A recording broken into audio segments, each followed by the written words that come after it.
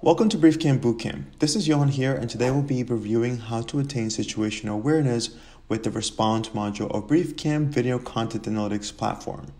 BriefCam is a comprehensive solution comprised of three different modules our review module, our research module, and our respond module.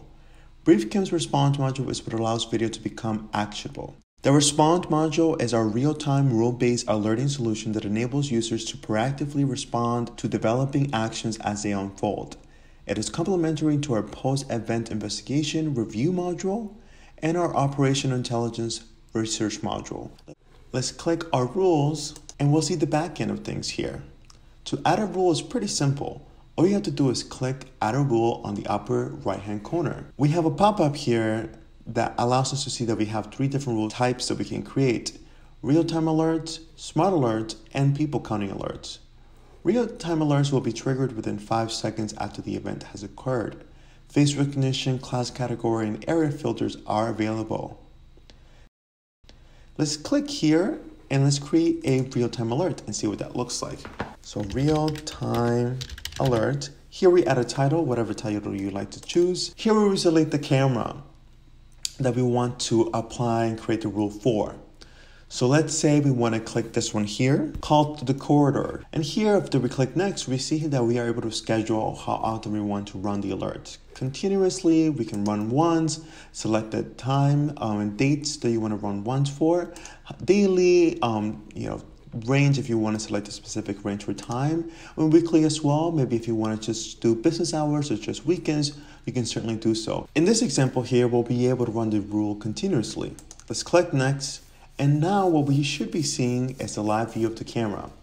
Here you'll notice that we have a few filters that are a little bit limited, but allows us to do a lot in real time. We have our area filter, a line crossing filter, our class filter, facial recognition that coincides with our watch list and allows us to include people or exclude people um, that are on our watch list to create a rule by. And we also have count as well. Let's say here for real-time alert, we want to create a rule for line crossing and see if anyone enters this specific corridor um, that's related to our watch list that we created. So we can click here for line crossing. And let's say we want them to, when they're walking southbound here, when they're entering the office, and let's click the specific um, office suspects watch list that we have already created. So here we have already uploaded an identity that we were searching for, um, and we want to be alerted by when they enter this quarter, when they enter the building or office.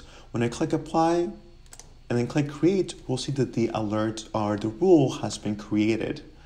When someone that's on that office suspects watch list enters that specific quarter, I will receive an alert through our alerts tab here, a notification, and the alerts will look like this, similarly to what you're looking at right now. The alerts are able to be shared through some VMSs that we have integrations with, and we also can create a third-party integration that allows the alert to be sent out in other ways. Let's go back to our rules tab here and let's look at the other types of alerts that we can create.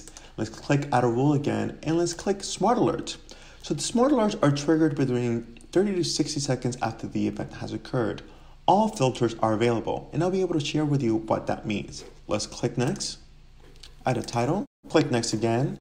We will select which camera we want to run and apply the rule for. Let's say it's this camera here that we want to run the rule on um, for the alerts.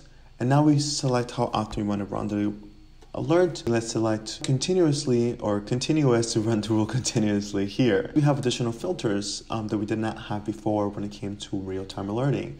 The alerts here for smart alerts are processing in real time. Here we want to create an alert that allows us to get notifications when there are vehicles that make an illegal U-turn or an illegal turn. And we can actually draw a path right here within the video we can get an understanding if people go um, make a turn from this road side of the road to this other side of the road or from this lane to this lane illegally as well.